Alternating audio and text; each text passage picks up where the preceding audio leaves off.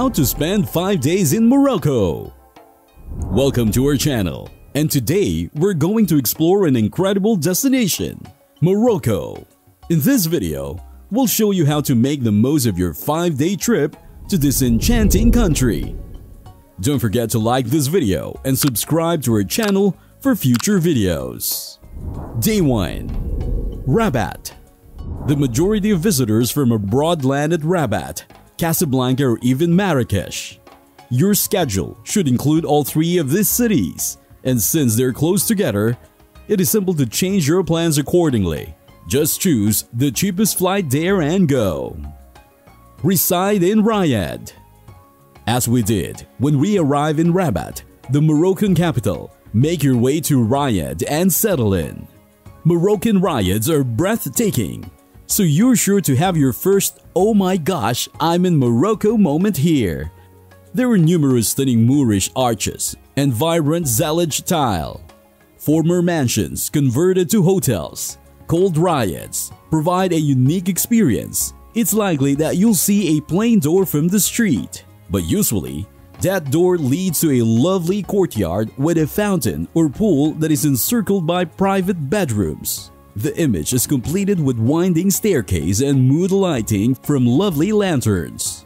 The inside of a Riad is intended to serve as a space for family gatherings while maximizing solitude from the outside world.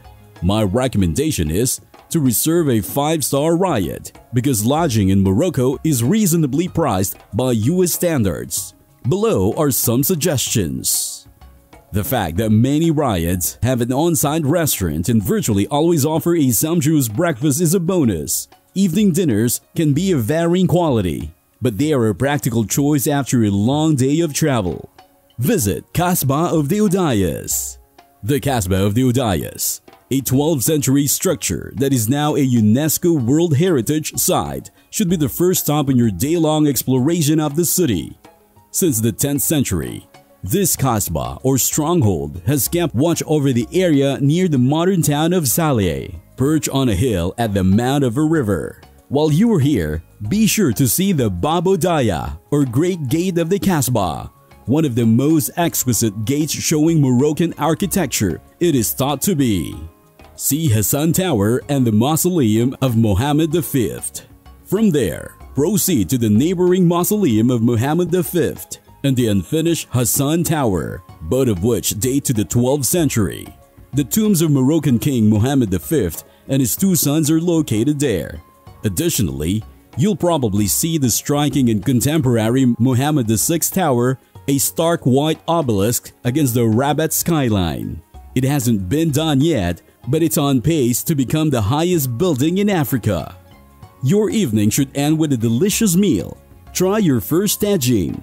You'll want to. Moroccan tagine is an incredibly excellent slow-cooked stew that is traditionally made over a charcoal fire it is named for the earthenware pot in which it is cooked. It consists of couscous, veggies, and either beef, fish, or chicken. There is a vegetarian option too. On our very first evening at Dar Naji Rabat, we had one of the tastiest tagines we had while spending two weeks in Morocco. Check out the freshly squeezed fruit juices as well. Where to stay in Rabat? In our first night in Morocco, the Riad Zayo Rabat left a wonderful first impression. This Medina Riad is quaint and tiny, yet it offers a fantastic breakfast. Day 2 Chef Chefchaouen A 4-hour trip from Rabat will take you into the Rif Mountains and to Chef Chefchaouen, often known as the Blue City. What makes it known as the Blue City? Since blue is the predominant color throughout the town.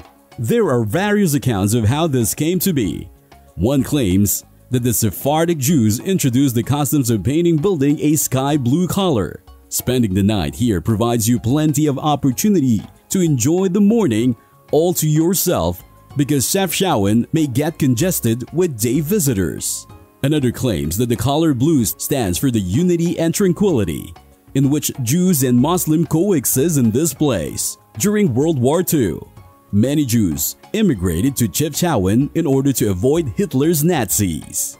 In any event, this small town's laid-back vibe and beautiful splendor make it a sought-after travel destination.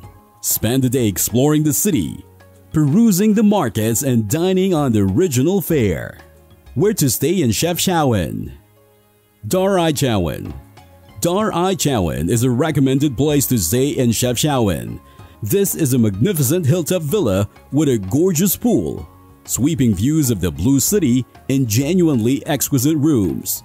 The on-site restaurant was decent but not outstanding, so I would plan dinner somewhere else the next time, but I would absolutely stay here again. Day 3.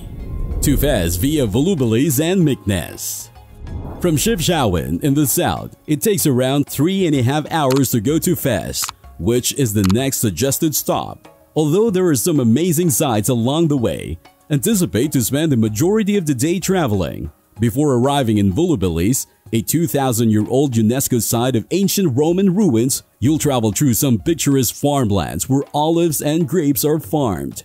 The most southern outmost of the Roman Empire is what you can observe in these ruins. Between the ruins of Roman villas, taverns, arches, and intact tile mosaic floor all over the place. There is a lot to see. In fact, that Volubilis is a little of the main path is one of the best features. We were the only ones taking it all in here, along with our guide and a few other individuals. Before finishing the day in Fez, you could also wish to make a trip in a Adjacent Meknes, another Moroccan imperial city. It is well recognized for its Moorish design. While you're here, check out the stunning Bab el Mansour, one of Morocco's biggest and most remarkable gates from the 18th century. Where to stay in Fez? When you arrive at the 5-star Palais Faraj Hotel, you'll feel like a celebrity. It once served as an Arab Moorish palace.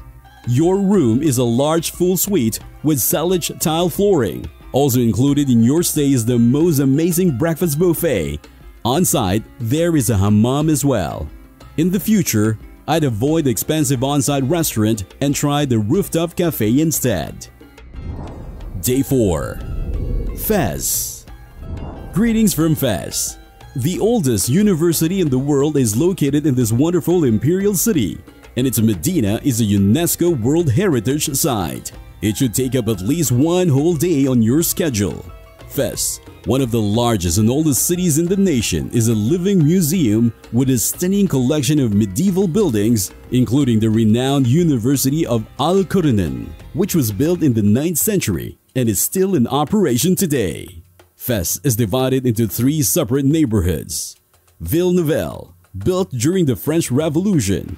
Fez Gdid, where the Jewish district is located near the palace, and Fez El Bali, the oldest portion of the city with 9,000 winding lanes and streets in the Medina. But you can't leave Fez without having a genuine admiration for the amazing craftspeople that live here. We had a great day visiting a pottery studio to watch ceramic tagines being created and watch tile craftsmen pound salvage tiles the old-fashioned way.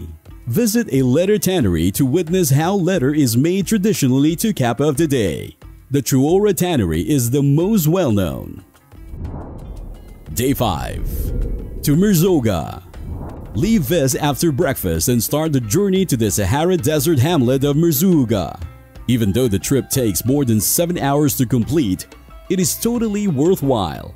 Ifrane in the center of the Atlas Mountains is a fantastic site to stop along the route. It is renowned as Morocco's Little Switzerland and is beautiful and green and snowy when we were there in February. In addition, a cedar forest here is home to wild monkeys. Please keep in mind not to feed animals if you're fortunate enough to see them and take in their beauty from a distance. You will eventually cross the renowned tunnel and the Ziz Valley. The ochre-colored cliffs, panoramic views are definitely worth seeing. Numerous date palms, figs, and olive trees can be found in this region, Numerous Alphus palm palm lines the area, framing the vistas. Where to stay in the Sahara Desert? Stay at Desert Lovers Luxury Camp if you're looking for a place to stay in the Sahara Desert, a private toilet and shower, plush beddings, Wi-Fi and two hot meals each day are all included in your accommodation. Sadly, it's time to bid farewell to Morocco. Whether you depart from Casablanca or head to the airport for your onward journey, you'll leave with incredible memories. We hope you've enjoyed this virtual journey through Morocco and that our suggested itinerary has inspired you to plan your own 5-day adventure in this captivating country. Remember, this itinerary is just starting point and there's so much more to explore in Morocco. Each city and region has its own unique charm and attractions. So take your time, embrace the rich culture, savor the delicious cuisine, and create lifelong memories in this extraordinary destination. If you found this video helpful, please give it a thumbs up and consider subscribing to our channel for more travel guides and destination inspiration. If you've been to Morocco or have any tips to share, let us know in the comments below. Safe travels and until next time.